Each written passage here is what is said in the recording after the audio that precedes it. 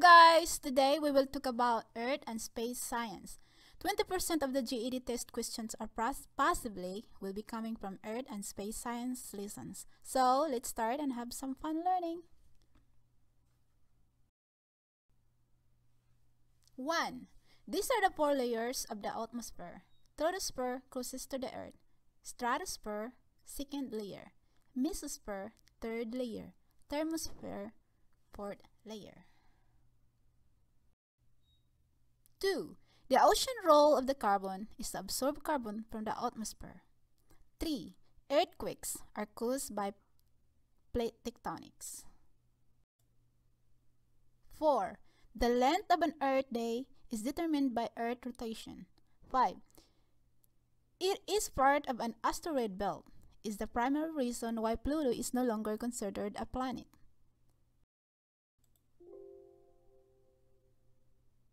6.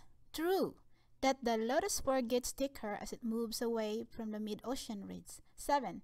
El Nino is a band of warm ocean temperatures that develops off the west coast of South America. 8.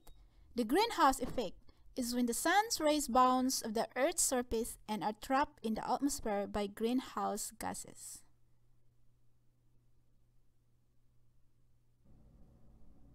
9. Carbon cycle is another system of the Earth characterized by complex pattern of interconnectedness, which are often cyclical in nature. 10.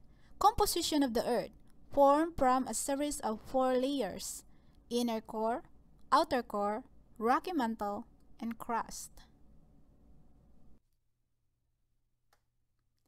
Thank you guys for watching. Best of luck on your GED test. Don't forget to subscribe for more videos and share to others that are planning to take the GED test and also others that would like to learn something in science. Bye!